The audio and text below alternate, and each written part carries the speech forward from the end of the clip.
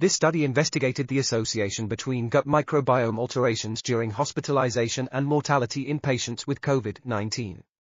The results showed that patients who required intensive care unit ICU admission had a different gut microbiome profile compared to those who did not require ICU admission.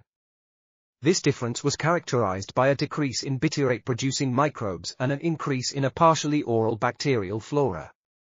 Additionally, this dysbiosis index was associated with systemic inflammation and increased risk of death. These findings suggest that gut microbiome alterations may play a role in the severity of COVID-19 and its impact on patient outcomes.